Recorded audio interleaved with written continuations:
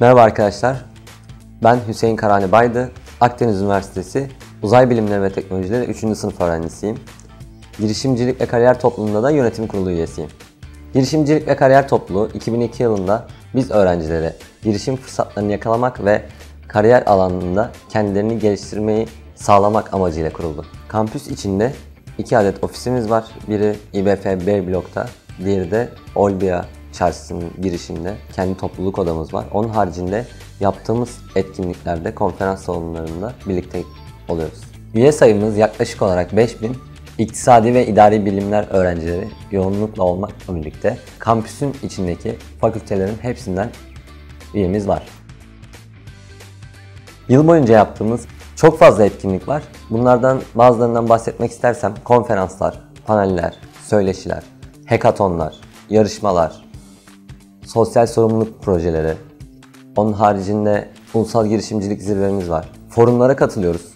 İstanbul Ekonomik Forumu, İzmir Ekonomik Forumu, summitlere katılıyoruz. Birçok etkinlikte paydaşlık yapıyoruz. Yıl boyunca yaptığımız çok fazla büyük etkinlikler var. Ancak bu sene de 12.sini yaptığımız Ulusal Girişimcilik Zirvemiz var.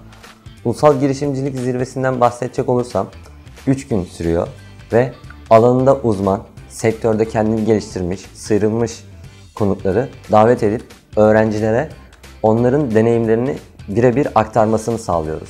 Ve bu tamamen ücretsiz oluyor. Topluluğumuz Akdeniz Üniversitesi öğrencilerine açık.